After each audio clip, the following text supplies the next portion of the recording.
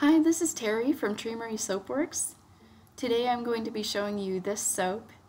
It's a variation on Taiwan Circling Swirl. So let's get started with the colors. First we have a half a teaspoon of Groovy Green Mica. And this is used at a rate of one teaspoon per pound of oils and it gives you a light green color. And that's what I was going for for this tutorial today. And I'm using a palette knife and a sheet of plexiglass to mix my colors. And next we have a fourth of a teaspoon and an eighth of a teaspoon of Rainforest Green Mica. You can see I'm just diluting it with a little bit of olive oil, just enough to get it wet.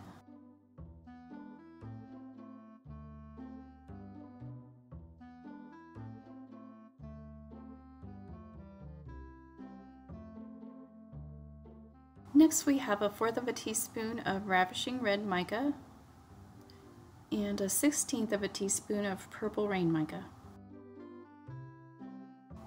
A lot of people ask me why I mix my colors this way. For one, it's to get all the little specks of color out, but also I have an art background and I had this palette knife from college and I just love using it. It's just one of my favorite tools.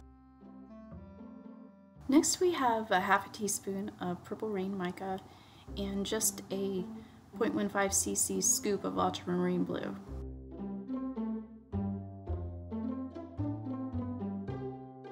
Oxides and ultramarines can be a little more difficult to get the specks out of. That's why this one I took a little bit more care to get all the specks out of it.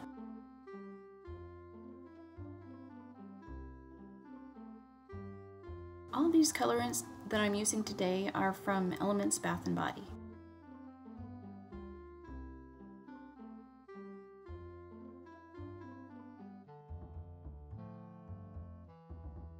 Next I have a fourth of a teaspoon of smooth coconut carbon, also known as activated charcoal. And I just mixed this in order to use to darken some of the other colorants that I used. So I'm not going to use the whole thing, I just wanted a little for darkening.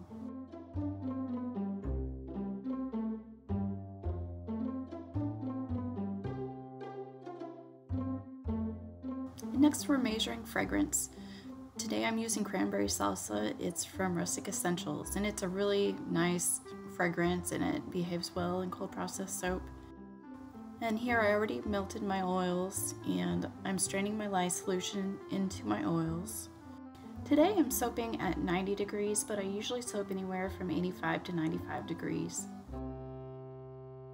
Okay, I weighed this bowl before I started, so I know the amount, and now I'm going to weigh the bowl and the contents in the bowl, and then I will subtract off the weight of the bowl so I'll have the weight of my batter. I have planned to divide it up by percentages so I figure out all my percentages before I stick blend so that I don't have to work against time. So now I know how much I'm going to pour off individually. I have just stick blended this until emulsion and now I'm ready to separate the batter according to the percentage that I figured out earlier. So this first one is for the light green and it's 25% of the batter. And then we have 15% of the batter for the white batter. And 20% of the batter for the dark green. Next we have 15% of the batter for the red purple. And last we have 25% of the batter for the blue purple.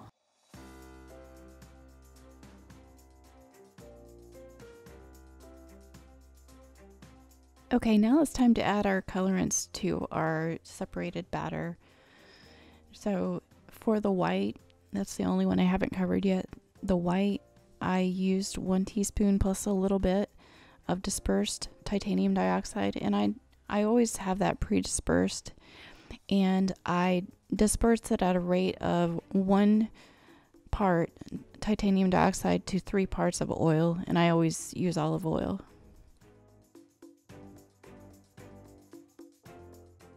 And now we just mix it all in and to make sure everything's evenly dispersed.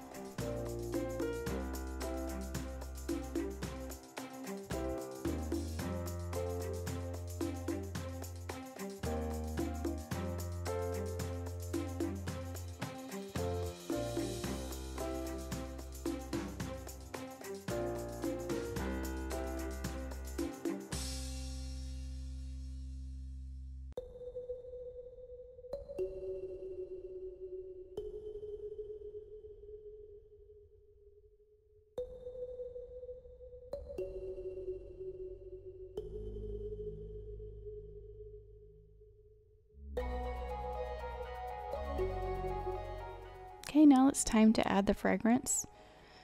And I just figured out the percentages of fragrance ahead of time so I know what I'm adding to each one of them. And you don't have to do this this way again. It's it's up to you. You can eyeball it if you want. It'll come out just fine. But I always use the exact amount of grams. Okay, next get your mold ready. And also we're going to be putting two of these colors into squeeze bottles. So I'm getting my liners ready and putting them in the squeeze bottles. And for this one, it would be the white and the pink that are going to go in the squeeze bottles. For this one, you want a fairly light trace in, in these. You don't want a heavy trace or it just won't move like it should to make the swirls.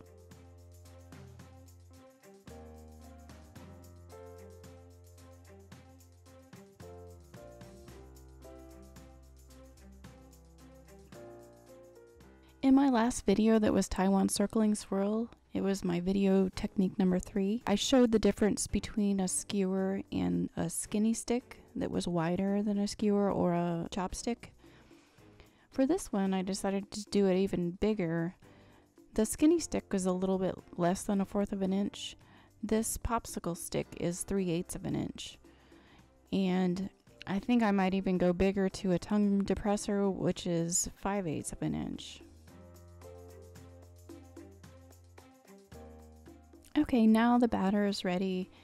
And first I'm going to be pouring the pink and white batter into the squeeze bottles.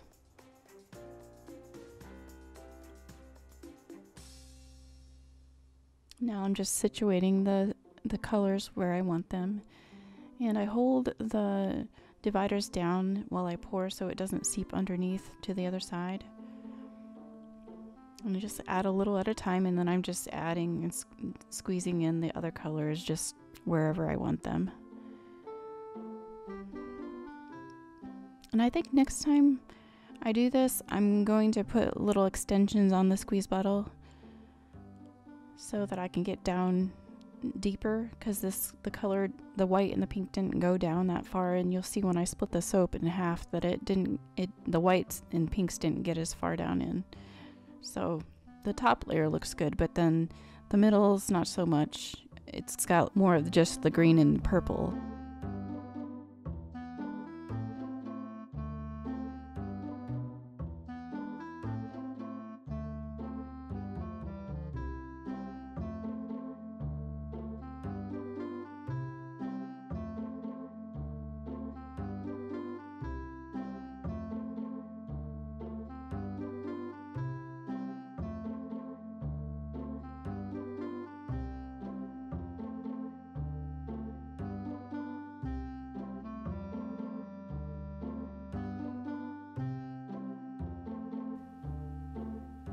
Okay, now it's time to remove the dividers.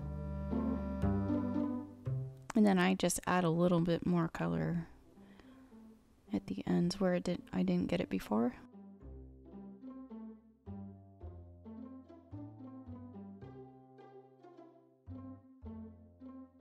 Go ahead and tap down your mold to release any air bubbles. And now it's time to start swirling. So you insert your popsicle stick parallel to the bottom and top of the mold. And just do your swirl. This is the fun part. And I like the results of using an even bigger stick for this time. So I think I'm going to go ahead and use the tongue depressor next time. I want to try it.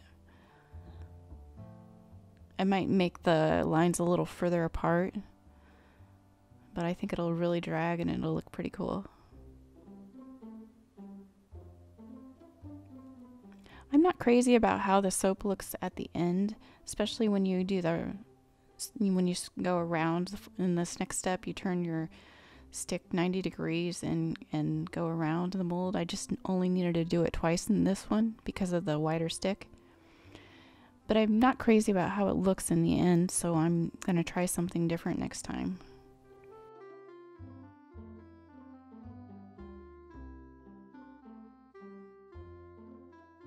I covered this soap and I put it through gel and I leave it undisturbed for 48 hours. Some places don't have to do that, but I found here in Indiana it's just too humid and I think the humidity causes soda ash if you uncover it earlier. So for me it works to leave it covered up for 2 days.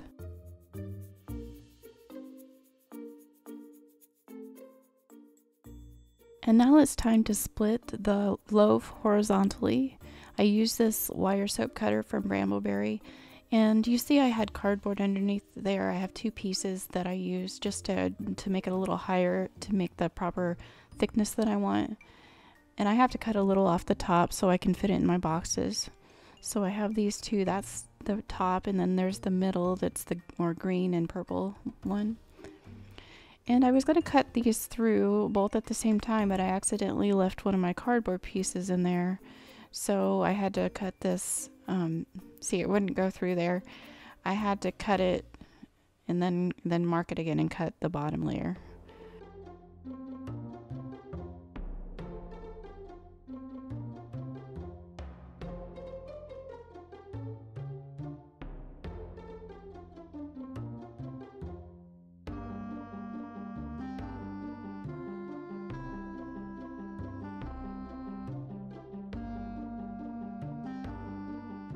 And now all that's left is beveling the soap, and I just used an old-fashioned vegetable peeler for this.